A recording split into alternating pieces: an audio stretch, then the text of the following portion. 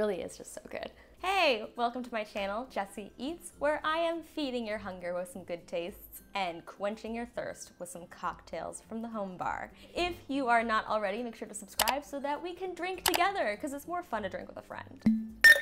Today we are making a gimlet. I love gimlets so much because they are so refreshing and they're also really easy to make at home because it's ingredients that you should have.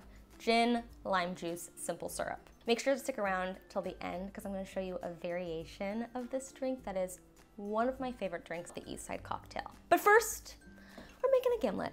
The key to a really good at-home gimlet is a cold, chilled glass. I did a little coupe action in the freezer and fresh lime juice. Squeeze it on your own, it is worth it. In my shaker, I'm gonna do two ounces of gin, three fourths lime juice, and three fourths simple syrup.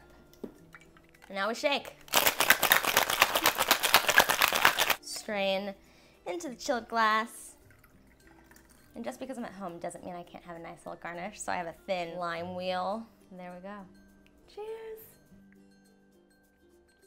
This is the most perfect, refreshing drink for a hot day right now. It steps up my at-home experience. Now, as promised, showing you my favorite variation, the East Side Cocktail, which just incorporates mint and cucumber. Make sure you have a muddler, that's gonna be the key. First things first, let's get some cucumber in here. Add your mint. Oh, smells so good. To release those flavors, I'm just gonna add a little bit of simple syrup to muddle with. And now it's a muddle party. Releasing all the goodies. We're just pretending it's a gimlet again. Gin, lime juice, simple syrup. Difference on this one is I'm doing a double strain because we have all those like chunks in there from muddling. This will make it real smooth.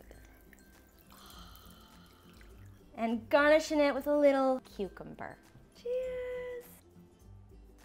I love an East Side cocktail because it has all the refreshing notes of a gimlet, but it kind of tastes like it's the spa because you have cucumber and mint. I feel so relaxed and refreshed and luxurious. Thank you for sharing another drink with me at the home bar. If you enjoyed this video, make sure you like it and I will see you again for another cocktail together.